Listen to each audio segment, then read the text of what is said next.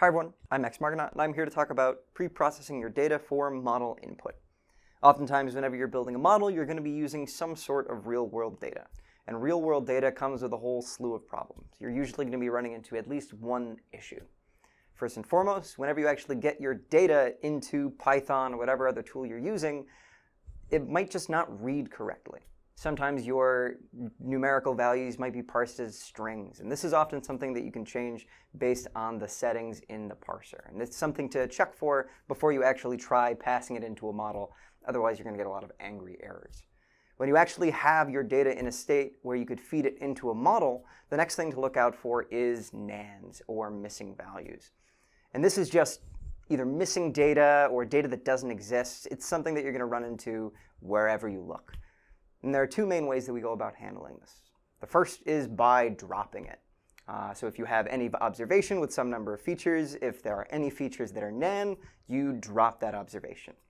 Now this is fine, it's kind of like a, an off-the-cuff sort of reaction to it because oftentimes you're going to have lots of individual nans and many different observations, and you may just end up with no observations or not enough observations to get a good model out of it at the end.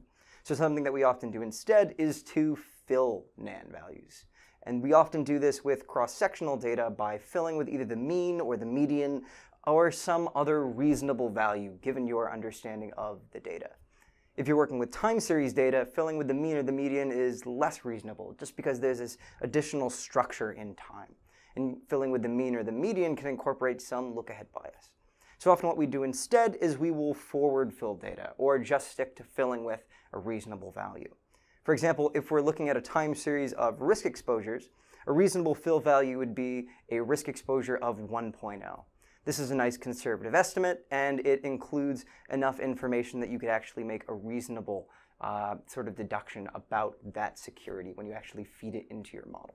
The next problem that you're likely to run into whenever you're handling data is outliers. And again, there are a few different ways that we can go about handling them. The first and most draconian way to handle outliers is to just drop them. But this loses information, right?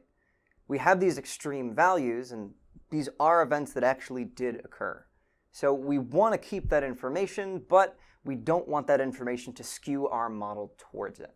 So one thing that we can do instead of dropping outliers is to Winsorize them. Winsorization is when we set some percentile level, usually around 2.5% or 5%, and we take the top 5% and the bottom 5% of our data, and we just truncate it to the borders of those percentiles.